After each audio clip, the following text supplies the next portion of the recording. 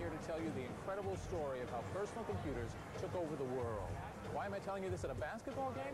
Well, I like the game, but mainly it's because of that guy down there.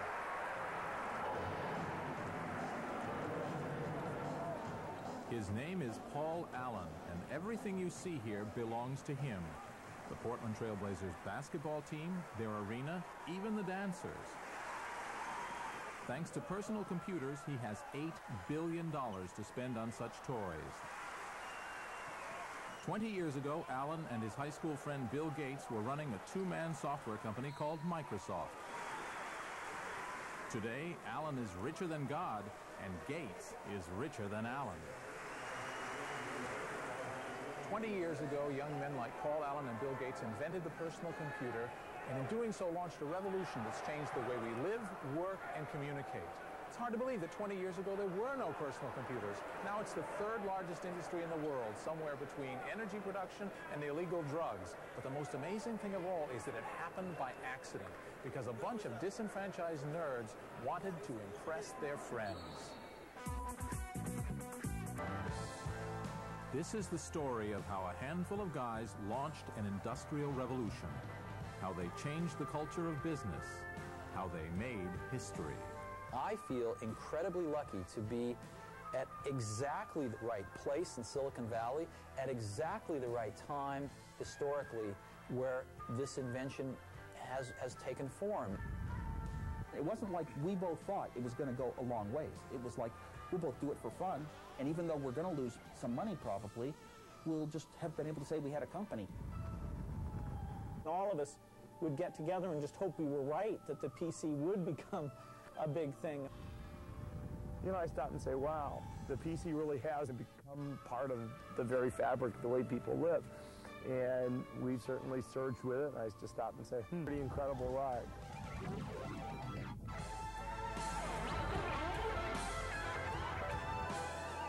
Most of these people come from the place I call home, the Silicon Valley south of San Francisco, California. To who's sleeping with whom? What ties these gossipers together, love of technology, have fueled the PC revolution. To understand them is to understand that revolution. So let's go find some.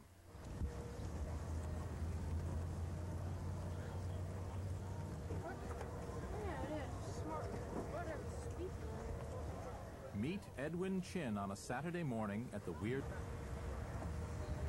What do your friends think of you? Boy, he's a nerd. Yeah. But I don't mind. I'm used to being called a nerd. Can't have other people stop your dreams. You've got a very wide wire. And in Silicon Valley, the dream is to grow up to become a boy like this. It doesn't make any difference at all to you whether it's on one of this machine. Graham Spencer is chief programmer for Architext Software. Six guys who graduated from Stanford University and started a company just because they like each other.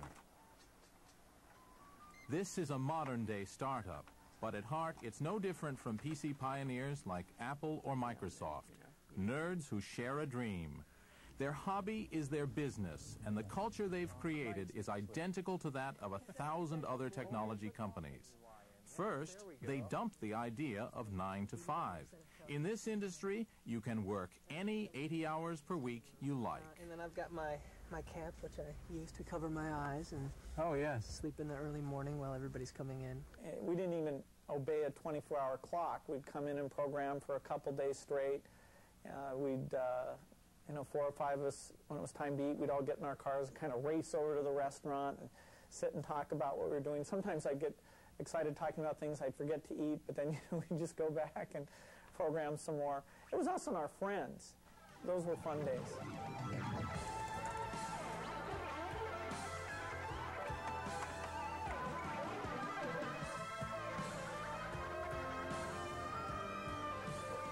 Let's look in the refrigerator.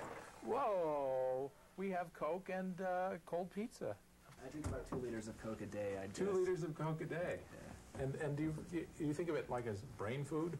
That keeps me going. That and, uh, you know, listen to heavy metal and get caffeinated and, and hack. What is it about the internal logic of a computer that's so enticing? For one thing, such logic can be understood. As opposed to things that can't be understood at all, like the motivations of young women, say, or of the French. Let me explain.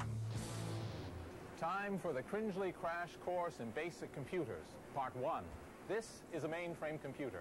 All of these cabinets are one machine. In the old days, all computers were this size. They were tended by engineers in white coats, a kind of priesthood who took their jobs very seriously.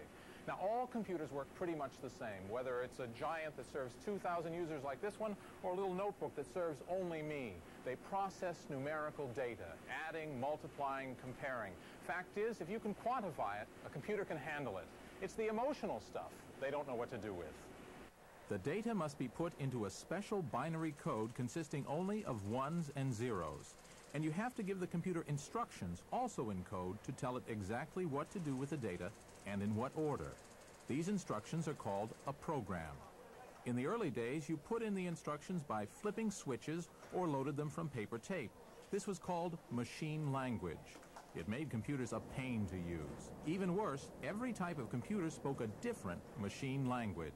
While the ENIAC could compute the 30-second trajectory of a shell in 20 seconds, operators required two days to program it to do so. Then a U.S. Navy captain named Grace Hopper solved the problem. She invented a computer language, English words that the computer itself could translate into binary code. Now users could type whole lists of instructions into a computer rather than flipping those damn switches. Like most things having to do with computers, that first language had a silly name, COBOL. It was followed by other languages like Fortran and BASIC, and they all made computing just a bit more user-friendly. So when some nerd tells you he's been up all night programming or writing software or hacking code, what he really means is he's been typing long lists of instructions into his computer. Mainframe computers were far from personal. They sat in big air-conditioned rooms at insurance companies, phone companies, and the bank, and their main function was to get us confused with some other guy named Cringely, who was a deadbeat and had a criminal record. Eventually, computer terminals did begin to appear in some schools, but most of us paid no attention. But there was usually one kid who did pay attention, falling in love with the digital purity of those ones and zeros. He was the nerd. And I took this book home that described the PDP-8 computer, and it just, oh, it was just like um, a Bible to me. I mean, all these things that for some reason I'd fallen in love with, like you might fall in love with um, a card game called Magic, or you might fall in love with doing crossword puzzles or something else, or playing a musical instrument. I fell in love with these little descriptions of computers on their inside, and it was a little mathematics. I could work out some problems on paper and solve it and see how it's done, and I could come up with my own solutions and feel good in, inside.